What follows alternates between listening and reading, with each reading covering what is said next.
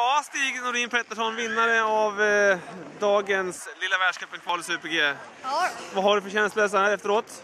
ja du. Eh, andra åket blev lite bättre, men jag bytte skidor då. Ja. Så jag körde på första, jag bytte upp med 6 cm.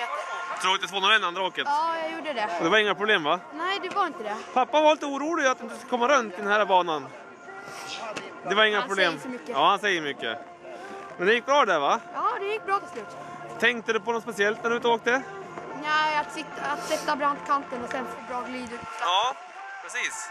Och det gjorde du. Ja, Vad, eh, är det svårt att åka Super-G tycker du, eller någonting som... nej, det, väl, det här är väl ingen super-G-backe precis, men Nej.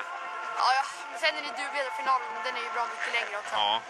Det blir roligt då också va? Ja, Ja, bra. Du Stig, vi gratulerar dig från Dörra.se då. Ja, tack. Varsågod, hej då. Racervinnaren Stig Nordin Pettersson i klassen herrar 10, 12, 13 år. Vi återkommer.